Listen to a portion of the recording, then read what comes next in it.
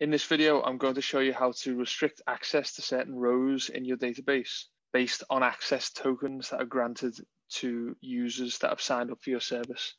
So the first thing we're going to do is sign up a couple of test users. Now let's go over to here to the authentication tab and I'll just invite myself as a new user.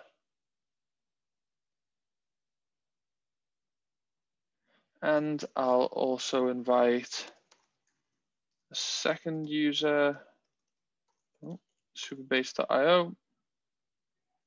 And then what I have to do is I have to go to my email and accept the invitation. Now, instead of just clicking the link in the invitation email, I'm going to copy it and paste it in here just to show you what it consists of and how it works.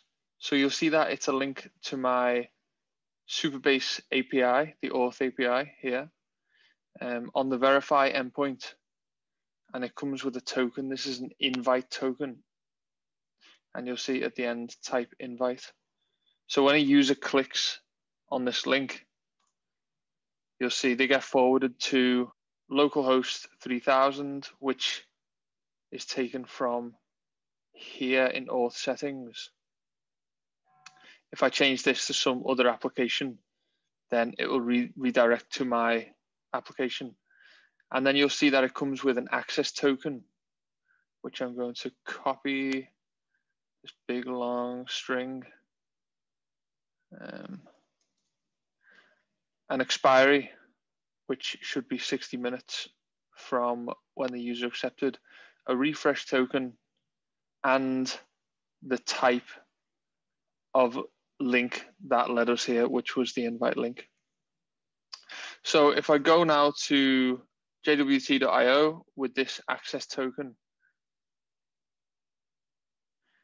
and paste it in here, you'll see that it is indeed my email address in there um, with an authenticated role now, an authenticated role in Supabase just means that this is one of your regular users that have signed up and they're authenticated.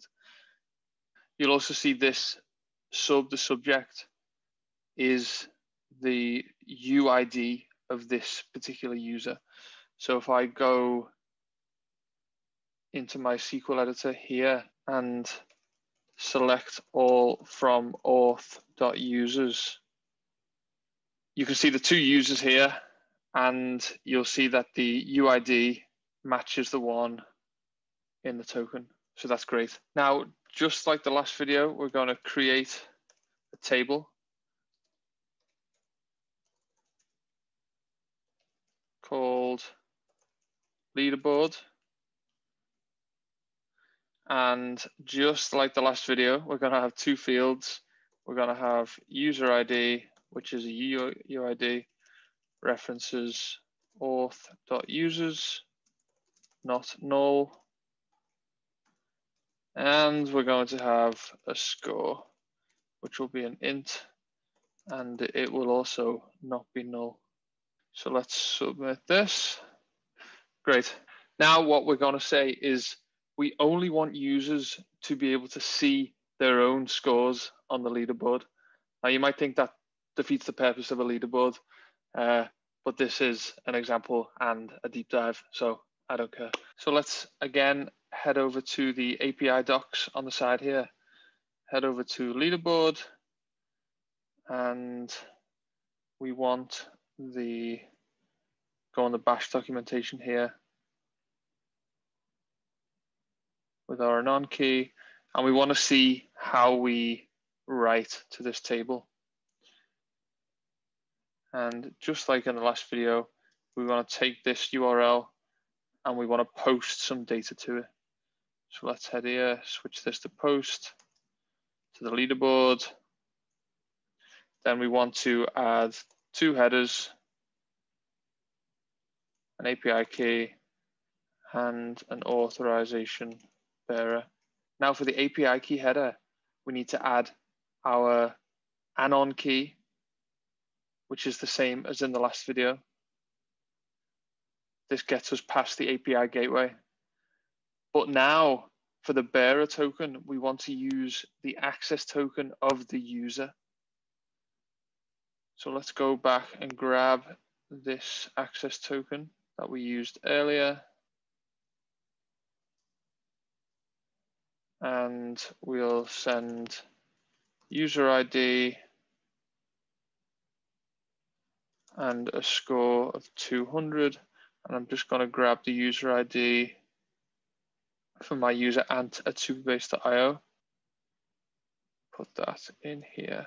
The one last thing we need to add is the content type header. And that has to be application JSON. Now, we haven't added any restrictions yet, any row level security policies. So anybody should be able to write to this table. So let's test that out.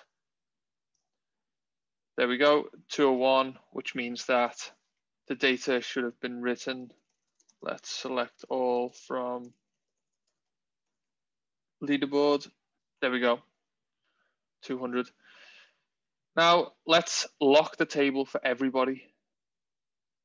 So click the padlock and we should find now that if this user tries to add a new record, it's forbidden. But we want this user to be able to add records where the user ID is equal to the user ID in the token that they're using to access the API.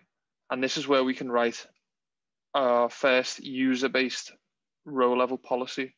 If we head over to authentication and on the leaderboard table, we add policy. And then we actually want our user to be able to do all of these things, select their rows, insert new rows for themselves, update their existing rows, and delete their, their entries. So you'll notice if you click this advanced button in the corner, you get a new option, all. So we can say allows users to operate on their own records. And you'll see two options here, definition and with check.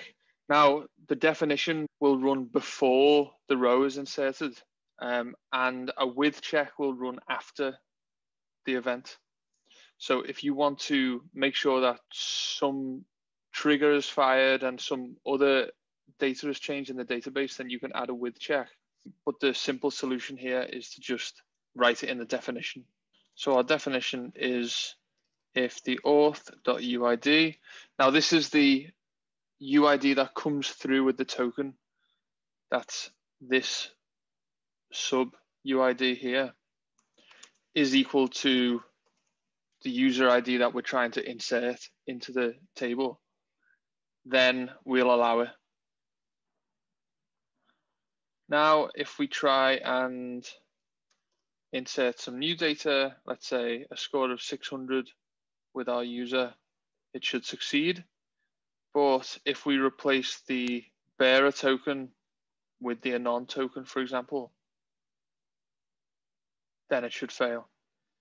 Now we see new row violates row level security policy. So we know that the anon key can't insert new rows, but let's try another authenticated user. So for this, we want to generate a new access token for our second user beta at supabase.io because I didn't store the, the last one that we received on the invite. And for this, we can send a magic link. So if I head over to my email now, I'll grab the new link that was sent to me, paste it in a new tab here. You can see that this magic link is very similar to the invite link that we received. The main difference being that this is a magic link token, not an invite token. And the type here is magic link. So when a user clicks, clicks this, it will open in the browser. It should forward to a similar thing, your app address with an access token, which we'll copy. And you'll see at the very end, it'll say type magic link. So this type at the end is to let your web app know where this user came from so that you can, for example, if this is an was an invite link or an email confirmation, then you can show a welcome screen. So we'll take the access token, we'll go here just to show that it has the correct information, beta at Supabase with a different UID. We'll paste it into our client as the bearer token, and we'll try and insert a row for the old user, and it should fail. Now, you can get real creative with these row level policies. As I showed before, you can have them specific for reads, for inserts, for updates, delete, or you can have a catch-all if you want to use it to be able to do all of these things. And also you don't need to use this UI interface to write your policies. You can also just write them in pure SQL. And just to show you what that would look like, we can go back to the welcome page, look at one of these quick start schemas, for example, the Slack clone. And if we scroll all the way to here, we can see these policies in SQL format. So you would say, create policy, give it a description on a particular table for selecting using, and in this case, we want users of a Slack clone app to be able to read each other's messages. So anyone who is logged in, anyone who is authenticated uh, and has this authenticated role can read the messages in, in the Slack channels. And likewise, the insert below is similar to our demo app here, where only a particular user with a UID can write his or her own messages. And you'll notice that there is no delete policy in this example. The user won't be able to delete his or her own messages. Now, if you look just above this as well, this statement here, alter table public.messages enable row level security.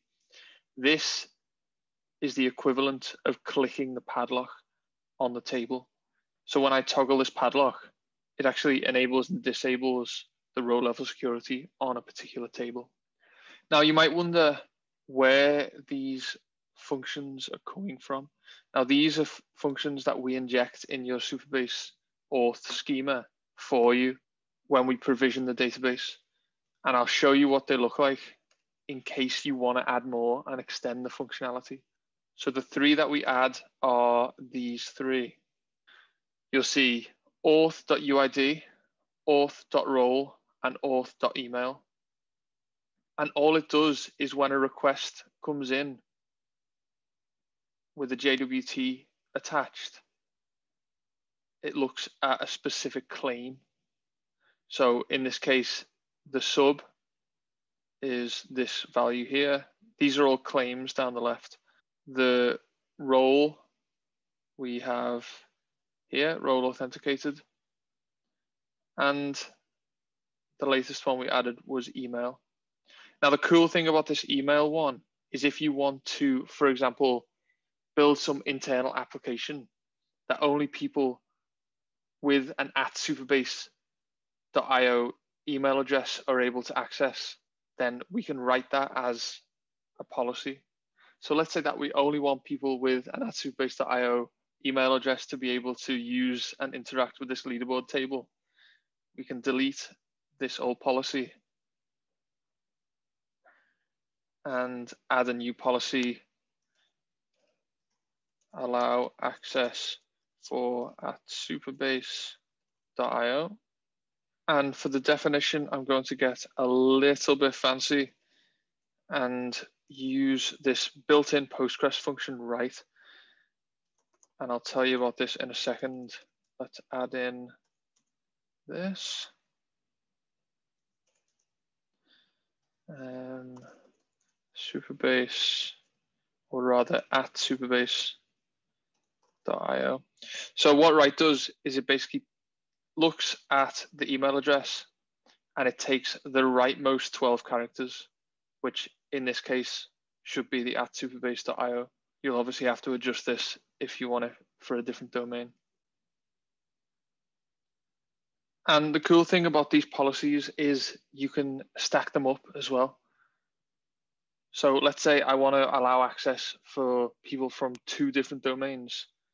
Um, let's say I want anyone with a Gmail address to be able to, to read or write from my service. We can go, let's go all again. Allow access for Gmail users. And in the definition, we'll say right auth.email 10 characters, I think, in at gmail 1, 2, 3, 4, 5, 6, 7, 8, 9, 10, and save that. Now, either of these domains can access the table. And of course, let us know your feedback in this little widget in the corner here.